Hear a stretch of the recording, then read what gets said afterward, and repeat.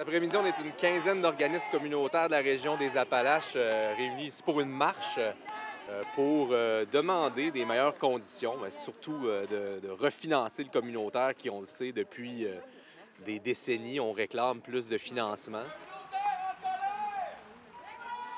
Seulement la pandémie a été, s'il y a eu un point positif, ça l'a souligné que le communautaire est souvent la première ligne. On est parfois méconnu, c'est quand on se ramasse en- dans des situations difficiles qu'on se met à connaître le réseau communautaire. Un traitement égalitaire pour le monde. Avec la pandémie, nos équipes sont exacerbées, sous-financées.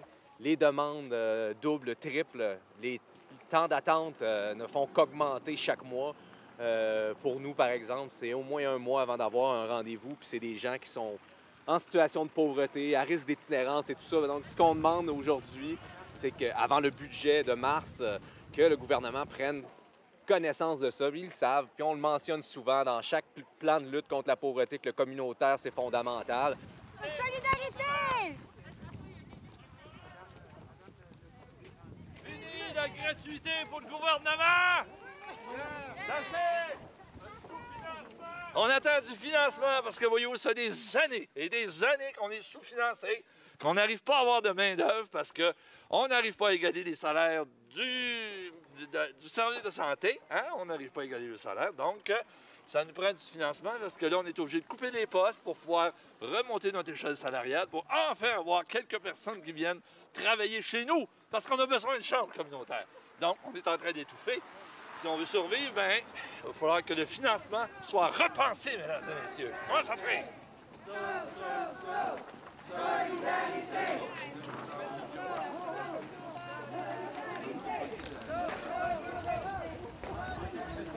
Beau de le dire, mais il faut le financer aussi. Donc, euh, c'est pour ça qu'on est là. On réclame plus de financement pour tous nos organismes, que si s'ils n'étaient pas là, la paix sociale y goûterait, je vous le promets. Le faut le financer! Compression, tarification! Ce ne sont pas nos solutions! Les politiques d'austérité! Mènent à plus d'égalité! Tarifier, privatiser! Pas notre projet de société! Pas notre projet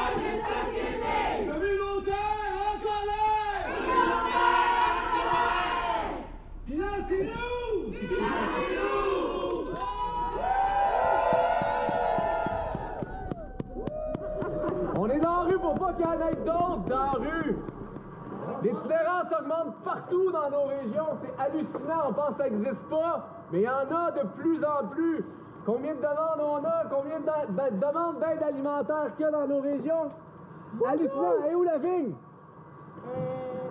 Est pas là, est occupée! 506% d'augmentation d'aide alimentaire chez Moisson Beauce dans les 10 dernières années. Incroyable. Je suis sûr que c'est la même chose chez la vigne également. Ça n'a pas de sens. Vraiment un beau projet, vous avez tout le cœur à la bonne place, puis nous autres, on le sait. Fait que euh, lâchez pas, gang, parce que sans vous autres, le filet social, ça fait pitié.